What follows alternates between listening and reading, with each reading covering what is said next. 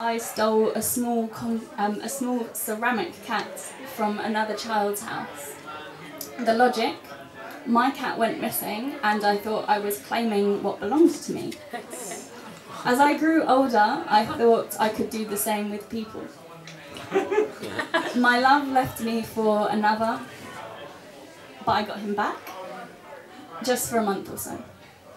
It was then I learnt you can never own a person. Yet it is clear that I still worry that someone will steal from me. You can read the Airbnb reviews. I am not a suitable house guest. I ask for too much.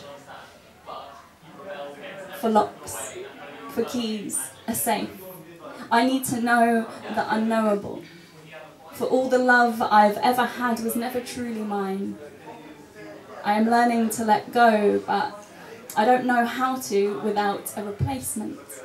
How to break a cycle when there are so many lost kittens. Not to mention the dead fish flushed down the toilet. And it's so easy to love, yet so hard. Thank you.